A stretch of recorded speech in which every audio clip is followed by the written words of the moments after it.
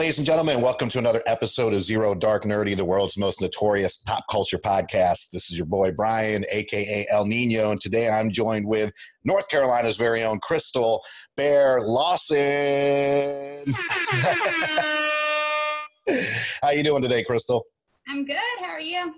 I'm doing good, thanks. Um, for those of you that may not know Crystal, again, she's a North Carolina girl who started off MMA and now she is a Muay Thai fighter with Glory Kickboxing. And, uh, you know, one of the questions that we wanted to ask is how does a girl from the Madison Mayodan area um, end up becoming a Muay Thai kickboxer?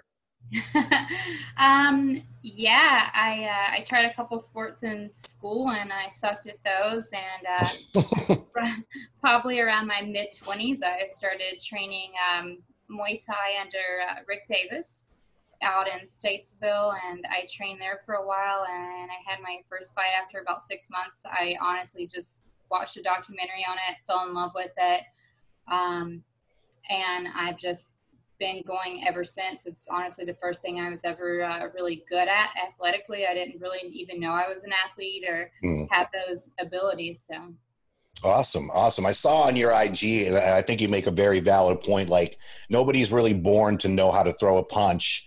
And like, how how far into the training process was it to where you were like, you know what, I I love this. I'm I'm going to do this. Oh, I knew immediately. Okay. Um, I knew the first day walking into the gym, I knew before I walked into the gym that I wanted to compete.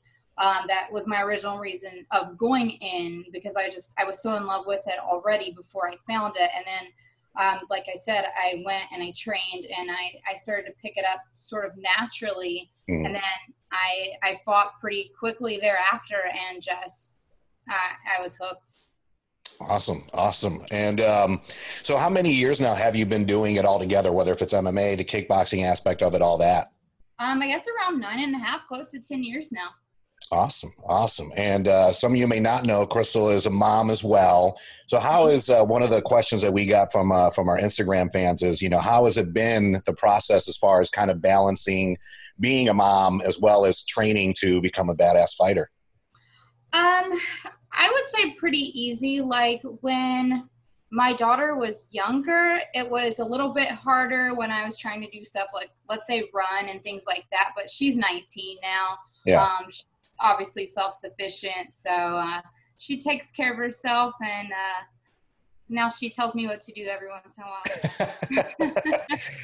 I have an 18 year old that likes to boss me around too. So she's currently bummed out because she has to finish up school online, like pretty much the rest of the U.S. And this was her first year at UNCW. So I yeah. think uh, you know we're getting used to it. And uh, I know that you moved to New England um, last year. And another question we got is um, from one of your fans out there is, you know, how do you compare new? Obviously, it's night and day difference, but you know, what, are your thoughts as far as New England compared to North Carolina living? Um, I don't. There isn't really a comparison to me. Uh, uh, my heart is in the South. My heart is in North Carolina. I'm here right now with family. Um, actually, I'm at my daughter's house now, but um, yeah, it just it doesn't compare to me. I hate the cold. I grew up here, so I've, I've used to warm weather and uh, I moved up there and it was definitely is a big shock for me and it's been super hard to get used to and I don't know if that's something that a person can ever get used to. I've I've had some really good training up there. Uh, amazing coaches. The kickboxing scene, the Muay Thai scene is is a lot bigger there. Mm-hmm. Um, and since being there in that aspect, I've definitely grown as a as a fighter and as a person. I've had to overcome you know, being in the cold because I hate the cold so much. But right. um, I it made me appreciate home even more because I, I feel like there's so many things that we take for granted, like green grass and you know humidity, things like that. Like I didn't realize how much I loved those things until I I didn't have it. Sure, know? sure. Okay, no, understandable. And, uh, you know, obviously, a lot of people, I'm actually down in South Carolina now where my daughter's mom and, and, and, her live right outside of Myrtle Beach because of all this going on. And, you know, obviously, this has put a, a stop to fights and training for you. You know, how was it adjusting to all that? I mean, I don't get me wrong, I'm, I'm loving the family time, I'm sure, as much as you have, but also being a bartender too. And, you know, my, bar, my background's in bartending as well I mean, just you know, how have you been adjusting to kind of not just life without work, but you know, kind of like the new norm as of right now? Um, so my schedule's changed a bit. It's obviously I'm I'm not sparring, um, but I still have a bag here, so I'm able to do bag work. It's kind of um, Mark DellaGrotte posted the other day. It's kind of taking it back to more traditional Thai style. You know, I, mm-hmm. I'm still running. I still have my strength conditioning coaches here actually, so I still have a gym to do my conditioning. I can go outside and run. Um, my gym here, Gymmo, has been doing live uh, Facebook Live. So I've been going on there and even just doing those workouts, and it's a sense of community in that way. So I've been doing a lot of stuff. I'm also in yoga teacher training, and oh, nice. I've yeah, so I'm doing between all of that stuff, and then I'm doing yoga like twice a day now. So basically, it's uh, kind of gel house workouts and uh, a lot of yoga. So yeah. well, good for you. That, that that's awesome. Um, I, I, know you said that it was a documentary that got into it. Um, do you have any fighters that uh, that you know you kind of looked up to as far as just kind of coming up and training, and maybe still look up to now? Um, I think some of the first girls that I ever seen um, competing and were like Felice Herrig, which I love her, uh, Miriam Nakamoto. Those were some of the first girls. Julie Kitchen people like that are definitely the the female fighters that I really have looked up to and kind of followed their careers, you know. Okay. Awesome, awesome. I got another question from a fan here. Um, as far as like cheat day meals, what are some of your like most epic cheat day like like your go to on when you can just eat whatever you want or drink whatever you want? Um, I'm it's not that I'm ever on a super strict diet because I train so much. I don't mm-hmm. ever eat a lot of carbs. Okay. Um, but I love cookies. So um, usually at least once a week, I definitely eat cookies. Um, yeah, and if I I'm not a huge drinker. If I drink, you know, it's tequila. But nice. besides that, I'm you know I'm pretty good on my diet. I feel like I don't I don't I just really don't eat that many carbs. gotcha. So cookies and tequila, that's one hell of a combination. if you ever get if you ever get your own reality show, that could be a little name for it right there. cookies, no, tequila, and Muay Thai. Totally fine with that. As long as I'd be good. Um, so I, I, know that you mentioned before uh, that you kind of started a little bit late in the game, um, just as far as training and everything else. Like, what advice would you give to people? Not just you know people that are you know, and I hate the term late in the game. You just kind of figured out what you wanted to do a little bit later. Mm-hmm. Um, you know, it took me a long time to figure out that I truly enjoy the media side of it, and I love podcasts and YouTube videos. But what advice would you give to people, not just with um, uh, when it comes to like kickboxing, but just in general, you know, as far as kind of chasing their dreams and going after it. Because of course, I know you went through challenges, and you know, kind of cover that a little bit as far as some challenges that you overcame, and you know, some advice to some of our listeners and some of our YouTube uh, channel watchers out there. Yeah, I never feel that it's too late to start. I didn't find this until later, and I feel that I'm just now kind of coming to the point where I'm putting everything together, all the things I've learned. It's it's not the mentality that used to be with the sport where okay when you're 25 you're done. Right. Like things have changed now and i'm being 36 i'm just now and i'm still learning. I learn every day and there's some stuff that I, I mean i've got so much to learn still but it takes really long time for your your brain to put together in the ring what you actually want to do. Sure. You need to do. So um it's it's really never too late. Some of the greatest guys, fighters, a couple of my coaches, I mean, they didn't start until they were like 35. Sure, they didn't have long careers, but I mean, sure. honestly, at this point, if you're treating your body good, age really is just a number. Like, I take really good care of myself, and I can honestly say that I'm in much better shape than a lot of people that are half of my age, and I don't right. even look at that at all. Damn, that's that's awesome. That is really good to know. Um, so you know, I know the story behind the bear nickname is you, you, one of your old trainers called you that, and this is another question from a fan. If you weren't going by bear, like what would be like what would be the number two nickname that you would go as? um, I mean, everybody calls me a little monster too. so maybe, maybe that. And then since I love cookies, maybe we could add Cookie Monster in. I don't know. Um, but pretty much I only get called monster besides bear, so I guess it would have to be that. Okay. I don't know how pesky it is, but you can come out with a little cookie monster kind of like head thing. yeah, and then everyone will give me cookies after. So I mean, that's a good idea. I don't know. Um, so as you know, we we, uh, we we talk and cover all things pop culture. This inc- includes sports, uh, movies, TV shows, all that fun stuff. What are some of your uh, pop, like pop culture interests as far as music, TV shows, like some things that you're just really really into? Um, I pretty much listen to all music. Um, right now, I'm obsessed with Lil Wayne's new album um, for for working out. Um, besides that, I I listen to a lot of kind of indie style music. Um, TV wise, pretty much anything new on Netflix right now is pretty good. I haven't watched The Tiger King, but I'm going to. Uh huh.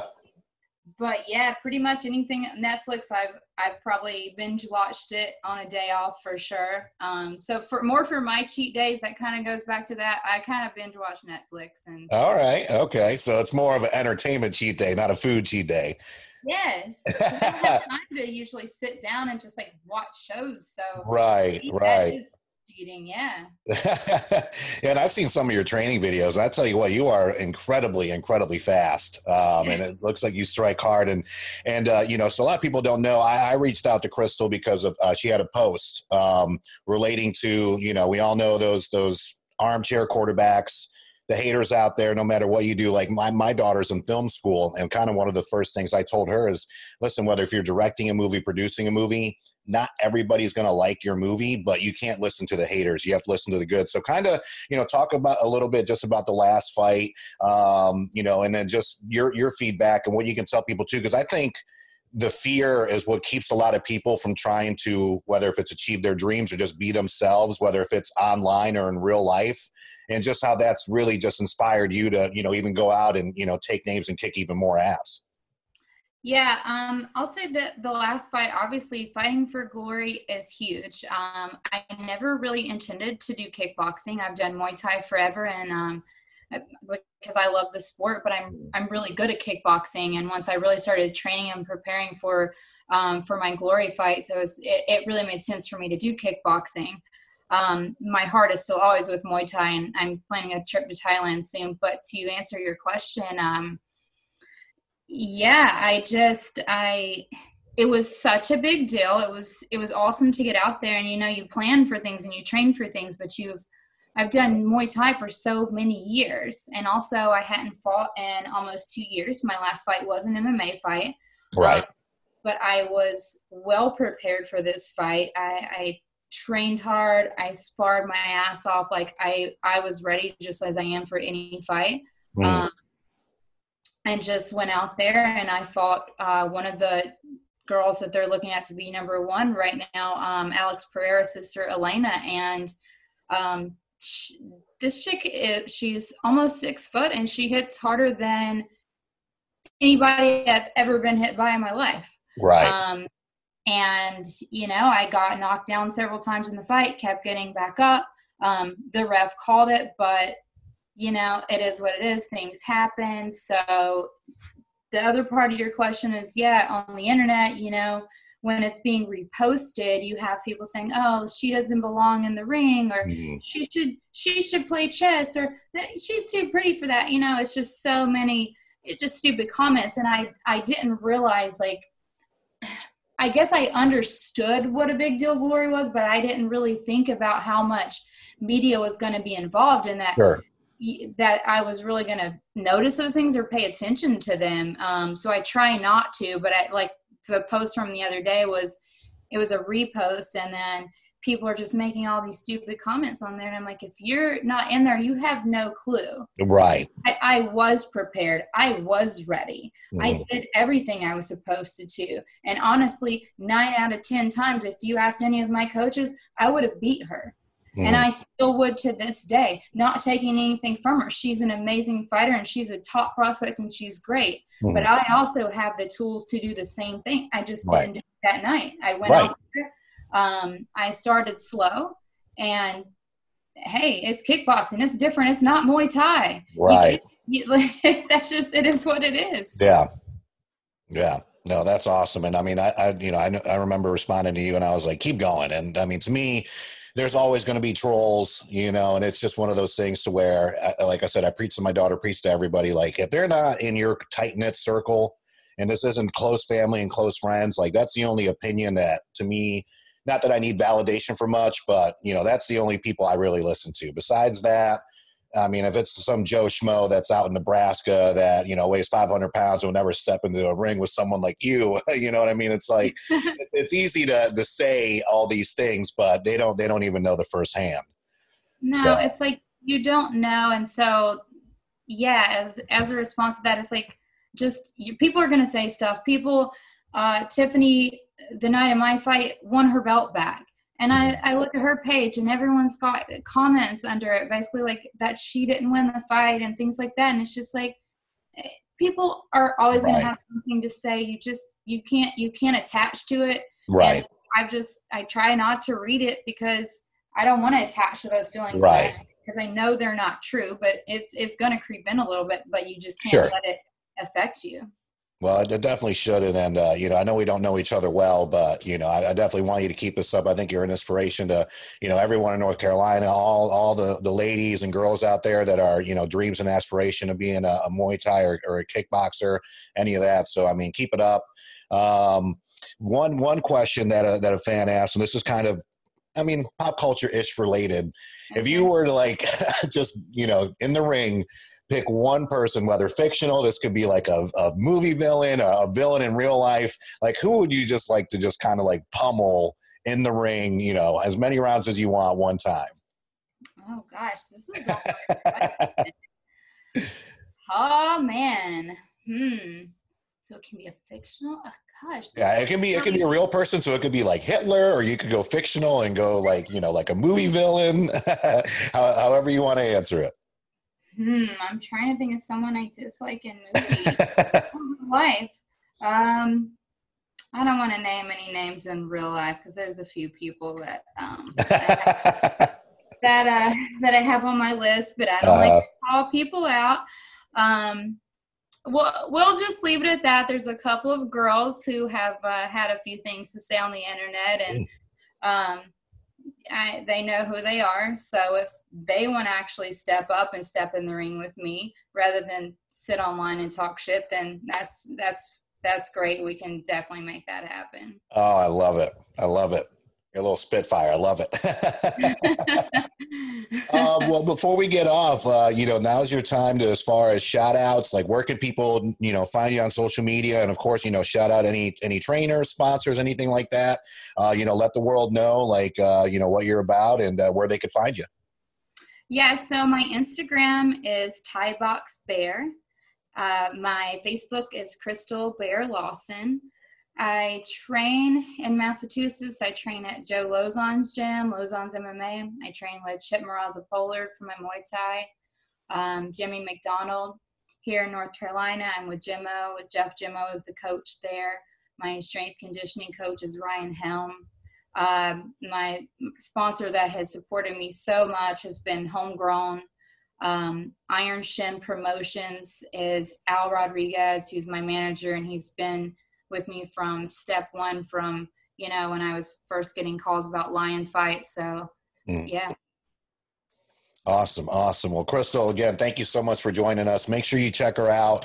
Once this uh, pandemic gets over with, we're definitely looking forward to uh, seeing you fight again. So keep us posted. We'll blast it all over our website, social media. Uh, you definitely made a lot more uh, fans out there, whether here in North Carolina, worldwide, people that have maybe never heard of you before. But remember this person. Remember her name, Crystal Bear Lawson, North Carolina's very own. Thank you so much, and we look forward to catching up with you soon. Thank you.